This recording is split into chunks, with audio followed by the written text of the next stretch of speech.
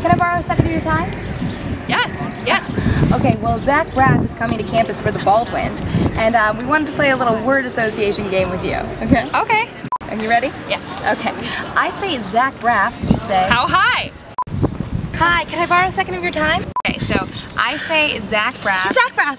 Scrubs. Amazing. 24th grade. Yeah. Oh, yeah. Is that a camera? I can take it from here.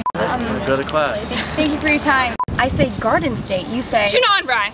I'm hungry. So what I've been doing with Can I actually is- just, I just would feel more comfortable holding it. It's just something that I do. One more time, one more time. Okay. Um, I say Garden, Garden State. State. I say Scrubs. You say. Blake Lively.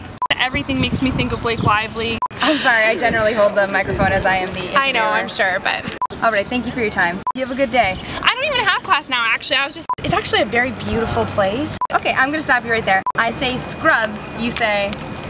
Will you remember me? One last chance. Okay. okay. I say Scrubs. Scrubs. Okay. Thank you. Sorry.